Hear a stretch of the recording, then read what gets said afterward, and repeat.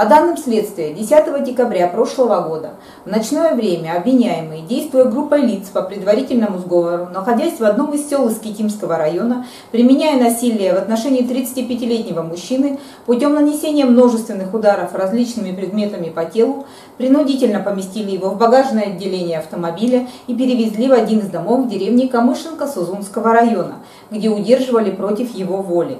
Мотивом совершения преступления стали длительные конфликтные отношения между односельчанами.